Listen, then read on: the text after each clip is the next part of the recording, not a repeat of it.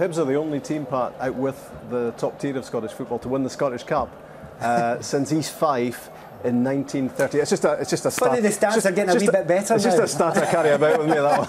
That one. But the stats have the, the stat that we've all heard for such a long time, and that now you can actually look at some interest, interesting ones from a Hibs point of view. But then they're kind of, I know, yes, they are in the lower league, but it doesn't feel like a lower league team. It doesn't look like a lower league team. The way they play doesn't look that way. You know, officially they are, yes, absolutely accepted. So, in a way, you would look back to that East Fife team of 10 going by, and that was maybe a Were bigger they, thing. Were they a good team in 38? Ah, East. Fife Ah, team? great. You know, I just seen the kind of tail end of them, you know. history being rewritten, and this was the moment that settled it in stoppage time. It looked like we were bound for extra time.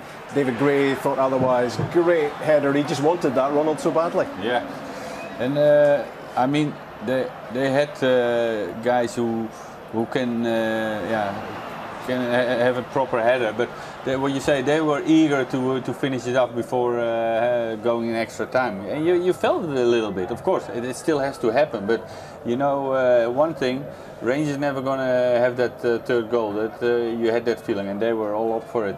It's amazing sometimes that, happens in football. You, you have it yourself when you're on the park. Sometimes you think to yourself, like, it's going to happen. We're going to do it. But you're right. You have to go and actually put into into action. And you know, very much like Kenny Miller's goal in the first half, the, the header, wanting it. David Gray there. It was, you know, you heard him there as well saying as soon as the ball came in, he thought, "I'm getting it," and it, you know that it looked like that in the pictures that we saw. Mm. Well, we've all, we've all actually been in pitches like that, haven't we? Where you come to the end of the game and you just look at the opponents and you think, they've gone. We've got them here. You've not even scored the goal yet, but you think we've kind of got them here. And there was a wee feeling of that when the equaliser went in. It may have taken to extra time, but Hibs were getting stronger. Michael mentioned Kenny Miller a moment ago. He was somebody who probably didn't deserve to be on the losing side today because for a 36 year old, that was He an exhilarating performance ev- for him. He was everywhere, and maybe sometimes I would think, oh, can he uh, take it easy? Because uh, in the last part of the game, you want to also be still uh, involved to keep the ball. But he was like chasing people back, uh, taking uh, slides, and uh, so it was incredible what he did.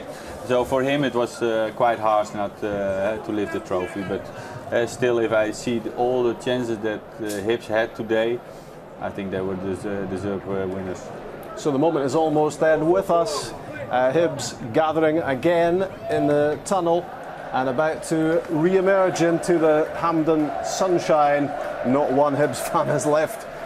They all want to be here and uh, to cherish the moment that their team finally wins the Scottish Cup.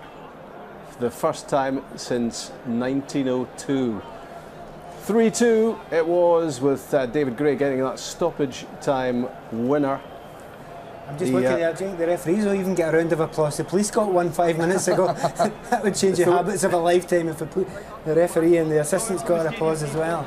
Oh, a wee word for the refs, though. I mean, hardly any bookings. Yeah, I thought, they I thought they, well. I thought they managed the game well.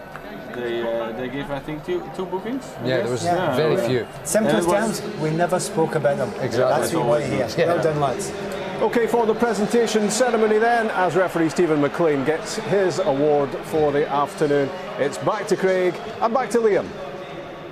Rob. Yeah, Stephen McLean had a good afternoon today, you have to say. Him and his officials who are all there Stephen McLean, David McGeachie, Andrew McWilliam, the two assistant referees, Bobby Madden, the fourth official, John Beaton, and Andrew Dallas, who were the extra officials behind the line.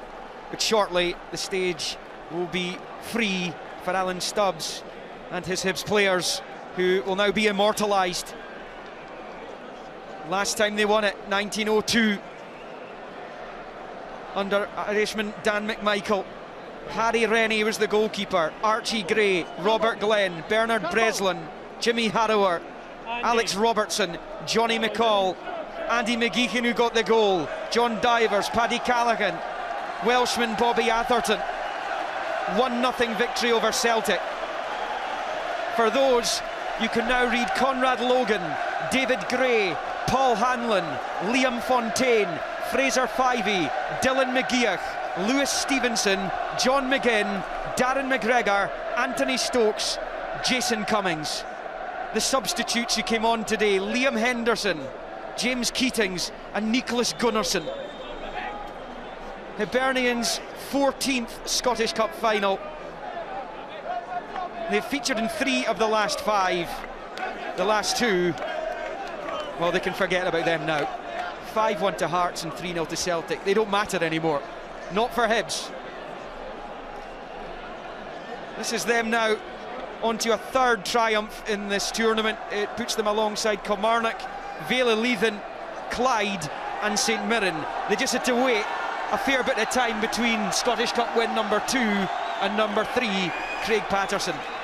Yeah, well, I can I can name the famous five team one to eleven. I could give you Turnbull's Tornadoes. Going to have to work on this team because they are officially now Easter Road legends yep. on the back of today's result. Incredible.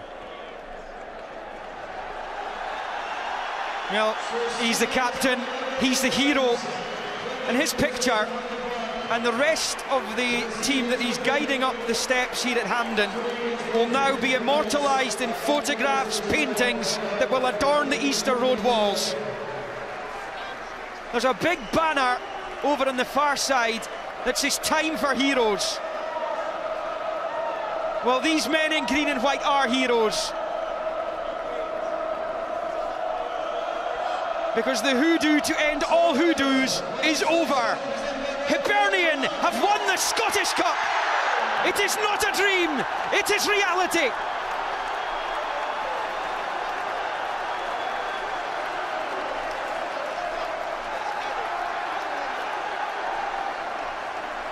They lost it in 1914 to Celtic. They lost it in 23 to Celtic to Airdrie in 24, to Aberdeen in 47, Clyde in 58, Celtic in 72, Rangers in 79, Celtic in 01, Hearts and Celtic in 12 and 13. But in 2016, the sunshine shines down on these Hibernian players as they hold aloft the oldest of national trophies. Craig, let's be honest, you from a big Hibee background, what does this mean to anyone connected with the club, from supporters to boardroom? The, the, jokes are over for a start. The what happened since Hibs won the cup jokes, they're all put to the back of everybody's mind. It's been a long, long run. It's been a long, long wait, but on days like this, all of a sudden it's worth waiting for, and now Hibs have to build on this. They've got to get out the championship. They've got European football to look forward to next season as well. Great sight there, Darren McGregor, who's a big hibby as well, holding the trophy aloft. He's had two particularly gruesome injuries to contend with in his career. John McGinn and Liam Henderson, who've both had fine seasons. Liam Henderson on loan from Celtic. A wonderful day for Hibernian Football Club. From Duke Street to Ocean Terminal, Leith Walk to Leith Links, Constitution Street to Easter Road. What a party it's going to be tonight. Oh, that end of Edinburgh will be absolutely jumping. It has been a long, long wait, and they deserve to celebrate. They've come to Hampden time after time after time and had to trudge back along the A-Main after yet another defeat. Today is a day that every Hibs fan is going to remember. Special cheer for Alan Stubbs, who was on the big screens here as well. The SFA president, Alan McRae, congratulating Alan Stubbs, who has guided Hibernian to the Scottish Cup.